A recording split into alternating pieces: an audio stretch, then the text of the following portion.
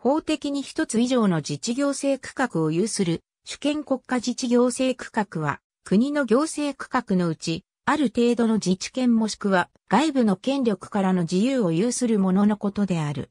一般的に自治行政区画は地理的に他の領土から離れた領土や少数民族が多く住む地域に設けられる。そのような行政区画への自治の権力と機能の分散は民主主義の参加や管理の効率を向上させるため、及び内部の衝突の影響力を弱めるために中央政府により行われる。自治区画を含む国は連合、連邦、国家連合である場合がある。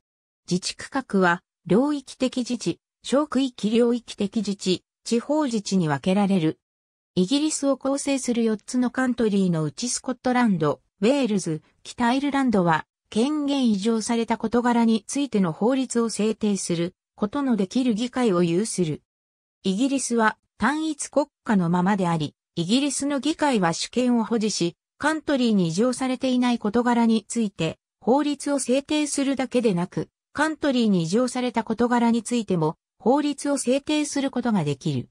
権限移譲された議会の憲法的な基礎は、イギリスの議会の法律によっても制御される。ジャージー、ガンジー、マンジマは、イギリスの一部でない自治的な王室族領である。ジブラルタルは自治的な海外領土である。ニュージーランドは太平洋の三つの島国の名目上の主権を維持している。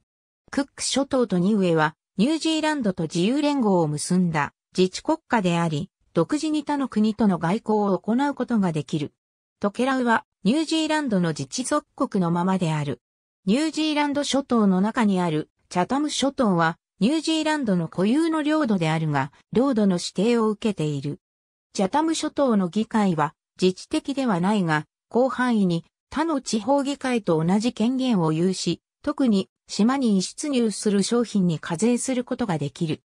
エチオピアでは特別軍は少数民族の伝統的な居住地域の周囲で組織されるウォーレーダのサブグループで伝統的な地域区分であるキロルや地域の階層とは別にある。特別軍には他の国における自治区との多くの類似点がある。フェロー諸島とグリーンランドはデンマーク王国を構成する自治国家である。アルバ、キュラソー、シントマールテンはオランダ王国を構成する自治国家である。独自の議会を有し、独自の通貨を持ち、独自に課税を行える。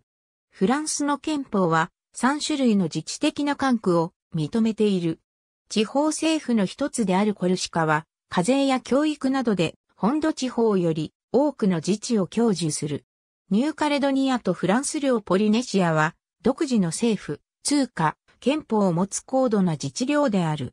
ただし、法と秩序、防御、国境管理、大学教育に関する立法権はない。